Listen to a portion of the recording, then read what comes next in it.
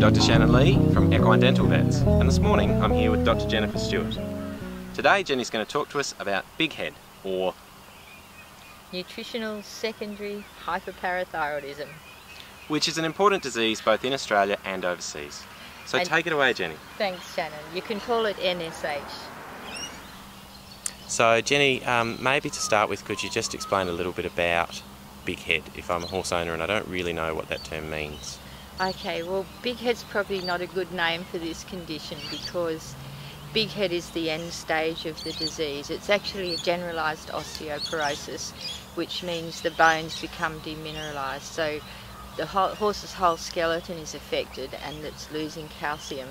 But the end stage of the disease, some horses get enlargement of their mandible and facial bones, so it's called big head. And so I guess given that our eyes are a blunt instrument in assessing um, bone density, people only saw it as at the, at the, end stage. We didn't know that it was there was osteoporosis happening um, with a gradual loss of mineralisation until at the end we got a big head. But um, and that name was coined in uh, the early 1900s in England, and it was mostly it was also called Miller's disease because it was mostly the, the Clydesdales or the horses that were owned by millers who milled brands and grains and of course fed the horses the byproducts like bran and things which are very um, low in calcium. So it was called Miller's disease or big head because that's what we saw. The reason we see it now, even though we don't have miller's horses in London eating mostly bran, is that a lot of the pastures we have up the whole eastern seaboard have in them a chemical called oxalate. And the oxalate is part of the plant's nor, uh, normal storage system. It stores minerals like sodium, potassium, um, calcium and magnesium. It stores them in the, as a form of oxalate, and that's just part of the normal plant. Um, primarily subtropical grasses. It's a feature of subtropical grasses. The problem for our horses is that the calcium oxalate doesn't break down in the horse's gut, so the horse doesn't have any uh, calcium intake from the pasture. So even though on analysis the pasture looks good, it contains calcium, it's just not available to the horse. And the bond is so strong that the calcium oxalate passes out through the horse and the horse gradually develops the calcium deficiency. So what it does then is it moves calcium out of its bones to try and keep the blood levels what's necessary for heart function, muscle function and life. So gradually the bones get um, demineralized and they get an osteoporosis. Um, I guess another way to think of the oxalate is you know, if we pick up a rock and we know it's got iron and minerals in it, we think, well, I'll eat this rock and it'll give me my iron requirements for the week, well, you're just not going to break the rock down. And at a microscopic level, that's exactly what the calcium oxalate's like. The, one of the big problems with this disease is it's insidious. It's been around for 1600 years, or it was first described. It's probably been around since horses evolved. Um, so it's insidious. It can be running along underneath the horse. It's difficult to diagnose and it can mimic other conditions. The big problem is that the treatment is so easy if you get it right and none of the horses need to suffer and a lot of the lamenesses, even just, you know, horses having dental issues, you know, perhaps 10 years before they might have, or having bone and lameness problems 10 years before they might have, you know, it just affects the longevity and it's really heartbreaking. And with young horses, we need that calcium for their bones, we need it for their teeth. And if they don't get those good foundations, then they're going to have a lifetime of issues which the owner's got to deal with, the horse has to suffer. And this can be prevented and I think that's the really exciting thing. So we just have to increase our awareness of it and be aware that it's often in the background when other things are happening. Basically if horses are at risk, which really it means if they're grazing um, oxalate pastures which include buffel, setaria, kikuyu, purple pigeonal grass and there's many other ones, um, that means they're at risk. It also does occur though in stabled horses. It's been reported in Hong Kong, it's been reported in Melbourne and in many other countries and in those situations it's because they're having diets high in grain or high in bran which don't have very much calcium in them. So whatever the reason, the problem is that they're not getting enough calcium. So what with um, regardless of the cause of this, uh, what we see are three syndromes. Firstly, you might just see ill thrift, where the horse isn't looking as good as it should, the coat's not quite as good, and that's thought to be due to uh, dental issues like pain in the in the teeth, which reduce the horse's ability to chew and its desire to eat because it's just uncomfortable. It can also be because there is another syndrome which the high oxalate intake can cause kidney damage because some of the oxalates go through the urine as the horse is trying to excrete them. So the first syndrome might just be an ill thrift. The second one uh, is often a shifting lameness. You might just notice horses that um, have a little bit of a, they look a bit lame in one leg and then they know that looks okay and then the next week or two they maybe look a bit lame in the other leg. And the reason for that is that you, you're getting um, where the tendons and ligaments insert on the bone, there's, it's losing strength. And you can also be getting microfractures. So as those injuries, those, those injuries heal, because they heal reasonably quickly, the, the lameness goes away and then it might develop in another area. And the problem with that is we see, you know, that, so that's the very mild form of um, lameness problems, but otherwise we can see spontaneous fractures, uh, splints, uh, ruptured suspensory apparatus, ligament damage, tendon damage, so everything to do with the musculoskeletal system. And then the third presentation can be the big head, but that's the end stage. The whole skeleton is, is very demineralized before you get to the big head stage, and the big head stage is more commonly seen in younger horses. So they're the um, presentations that can occur. And then we, if we look at how we can diagnose this, unfortunately, there's no diagnostic test that, that is a gold standard or that we can rely upon. We've looked at um, uh, calcium levels in the manure because that's where the calcium is being lost from the pasture that's coming through in the oxalate. We've looked at calcium in urines, we've looked at blood calcium levels.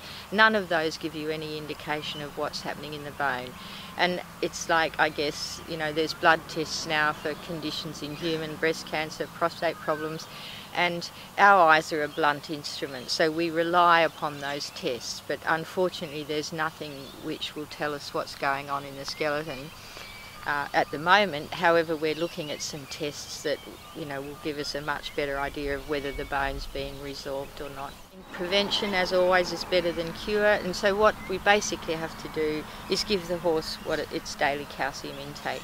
Now, there's one problem with using inorganic forms of calcium like lime and DCP and things, um, and that is that when the oxalate is in, when the horse eats the grass, the oxalate that's bound to sodium or potassium or magnesium will break, will separate in the gut. Um, the calcium oxalate is bound to type, the others will separate and that free oxalate can then bind to any calcium in the supplement. And that's why some manufacturers say to take a horse off the pasture for an hour before and an hour after it receives the supplement because the oxalates in the pasture can grab that supplement, especially if it's an inorganic form like lime or DCP. So what that means is that as the oxalate intake goes up, the oxalate levels in the pasture vary with the time of year, the stage of growth, um, climate, season, weather, and the fertilisation of the paddock. So, but as the oxalate level goes up, you've got to add more and more supplements so that which will be taken up by the oxalate before you even begin to meet the horse's daily requirements. So we've looked at um, a protected form of calcium, which we know the horse will be getting no matter what's happening in the pasture, no matter how much oxalate or how little calcium it's getting. The, we're using a form of calcium that's chelated, so it's protected from the oxalate and it's also prepared for absorption so it's readily available. The other problem with using um, big doses or big amounts of lime or giving it you know once or twice a week is that there's a limit to amount, the amount of calcium the gut can absorb. It's similar to say you know if you need to drink 10 litres of water over a week saying oh well I'm going to drink all that water on Saturday. Um, there's you won't absorb it and it's the same with calcium. There's a limit to what the gut can absorb. So the advantages of the chelated form are that it's prepared for absorption so it doesn't have to undergo chelation in the gut cells so it's absorbed quicker and there's not such a limit on the amount they can, they can take up each day. Uh, the other problem is that when the horse is starting to get low blood calcium, it releases parathyroid hormone, and the sole function of that is to move calcium out of the bones to keep the blood calcium levels normal. And the parathyroid hormone is also trying to conserve body calcium, so and to restore the calcium phosphorus balance. So it increases uptake of calcium from the gut.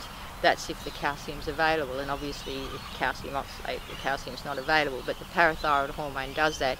It also depresses phosphorus absorption and it increases phosphorus loss in the urine. So the horses actually become phosphorus deficient as well. So our role is to replace the daily calcium intake but also to manage and ensure that the phosphorus intake goes up to balance what's being lost from the body. The problem with this um, nutritional secondary hyperparathyroidism, which is the um, veterinary medical term for the disease, is that it can mimic many other conditions. I mean, tons of things can cause ill health, I mean, ill thrift, like dental problems, systemic diseases, um, age, pituitary dysfunction. Um, and so it's really, and, and many things can cause shifting lameness or a bit of pain here and a bit of pain there. And so it's really important to have uh, a, diagno- a diagnosis and, it, and you know, a bit of a have the veterinary surgeon go through these things because you wouldn't want to miss a dental abscess even or dental problems, even though they can be occur because of the um, the big head disease or the nutritional secondary hyperparathyroidism. And I guess that's one of the big challenges with this condition is that it can mimic so many other conditions. And it's really important that the correct condition is identified and the other thing is you can often have coexisting conditions. So you, you might have um, a tendon injury, uh, but it's occurred because there's demineralisation of the bone. So it's really important if you want to get the best management and do the best for your horse and, and get onto it quickly, it's really important that you have a, a diagnosis from a vet and have any coex coexisting problems um, you know, worked up and managed properly. So if we look at the distribution of the problem, we look at a map of Australia and we can see any areas that have buffel grass, um, signal grass, kikuyu, setaria, purple pigeon grass, and they're distributed in, in um, regions of Australia. Wherever those grasses are being grazed, there's a big chance that there's going to be this underlying problem in the horse population, and we just it hasn't been recognised for so long, and we need to become more aware of it. So that's been big head in horses uh, both here in Australia and overseas. It's an important condition and I hope that you found Jenny's presentation interesting. I certainly have. For more information you can visit www.drjenniferstewart.com. So thanks Jenny, we really appreciate it. Thank you Shannon.